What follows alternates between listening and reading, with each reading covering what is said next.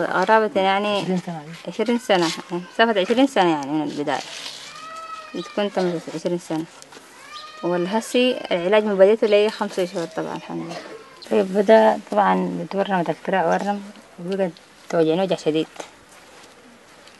يعني لما انت لما الوجع ده يسنو بتعبني تعب شديد يعني ما بقدر اتحرك ما بقدر اشتغل منها قريب يعني قريب المليون دي الخمسة أسابيع.